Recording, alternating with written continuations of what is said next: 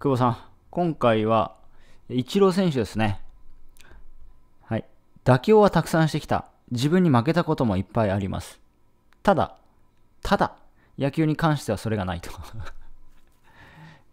じゃあ、イチロー選手は野球でなぜ結果ができた、出たのかっていうと、野球に関しては、ここだけは妥協しないと。やり、やりきるぞっていうことですよね。他は、他はいっぱい妥協した人はいっぱいあるけども、これだけはっていうことは、あの、やってきたっていう話ですよね。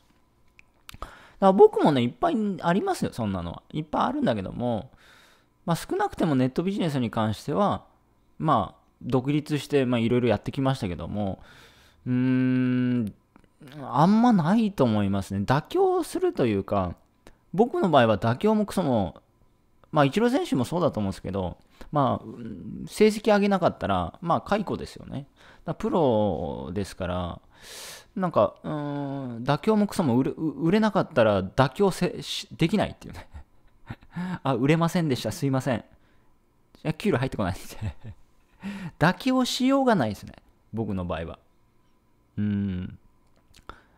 まあ、要所要所商品によってはね、商品によっては力入れ具合は変わったりとかします。でもやっぱ毎月商品売ってるんで、この商品は売りたいなっていうのもあれば、まあ、これはちょっと売り上げ取りに行くために売ろうかなとか、まあいろいろそういうのはあります。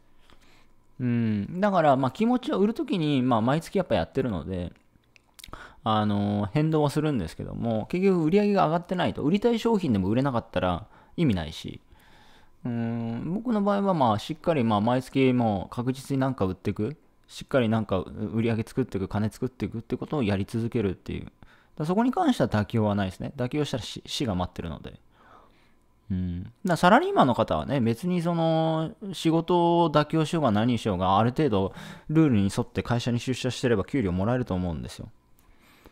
うん。なんかね昔その市役所で働いてる人に聞いたことがあるんですけども昔ね。で、まあ、まあ、辞めて、あの、今は独立してなんかやってるっていう方とお話ししたことがあって、その、その市役所、まあ、全部じゃないと思いますよ。そこ、そこの市役所は、まあ、こういう風潮があって、その人は結構いろいろな、なんか企画だったりとか、いろんな仕事をこう、ガンガンやってたらしいんですよ。